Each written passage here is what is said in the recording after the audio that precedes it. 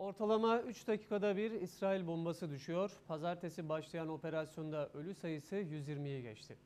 Kara operasyonuna da hazırlanan İsrail vahşetine karşı aralarında Türkiye'nin de bulunduğu ülkelerin sessiz kalması ya da katliamı durduracak somut bir adım atmaması dikkat çekiyor.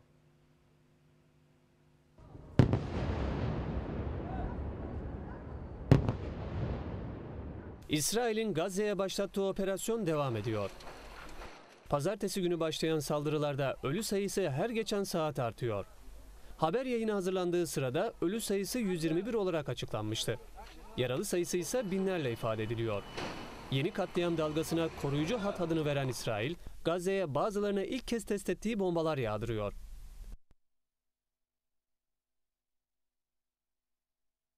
Bombardıman için ağırlıklı olarak sahur vaktini tercih eden İsrail'in ortalama 3 dakikada bir saldırdığı açıklandı.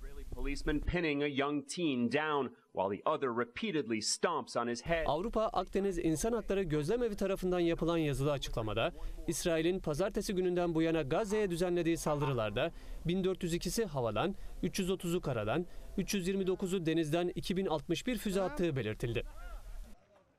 İsrail'in 3 dakikada bir Gazze'ye saldırı yaptığı vurgulanan açıklamada, saldırılarda sivillerin yaşadığı alanların yanı sıra kadın ve çocuklar hedef alınıyor.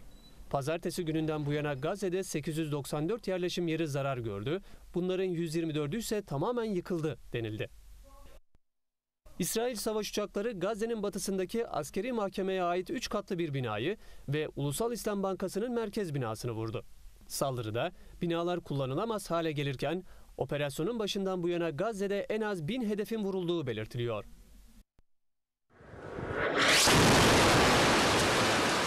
Gazze'nin doğusundaki El Vefa Rehabilitasyon Hastanesi de İsrail tarafından vuruldu. İsrail, hastanenin tamamen boşaltılmasını isterken hastane yetkilileri hastaların götürüleceği başka bir yerin bulunmadığını belirtti.